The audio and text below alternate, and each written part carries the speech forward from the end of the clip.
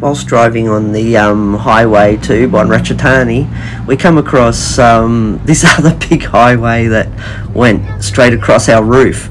It was massive, and it just went for really long distances. I don't know. Um, uh, I didn't get a chance to go on it because I think it wasn't open, but um, yeah, it just looked really cool to look at from the bottom of it. It just felt like it was going on forever. The architecture looked really cool though. I really love the architecture of this thing, and um, but even this drive, the whole drive, there's a lot of scenery around. But I just thought I'd take this clip because it was an amazing looking highway.